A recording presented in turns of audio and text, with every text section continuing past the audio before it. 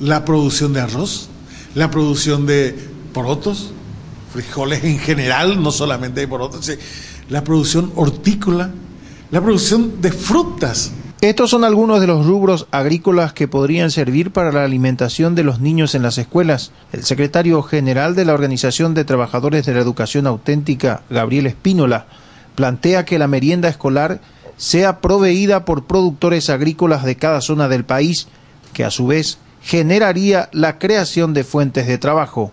Una alimentación que necesariamente va a requerir a la vez de la presencia de profesionales en los distintos departamentos de la República, como por ejemplo nutricionistas, porque no puedes dar cualquier alimentación, tenés particularidades de niños y niñas. Y por otro lado, esto va, va a traer una realidad que hoy día no la tenemos y es lo contrario. ¿Cuál es la permanencia de los jóvenes en sus respectivas comunidades?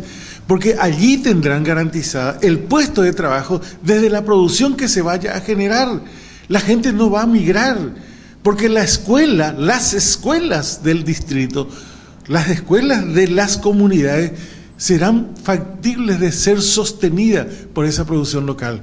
Con imágenes de Carlos Jiménez informó Claudio Genes para ABCTV.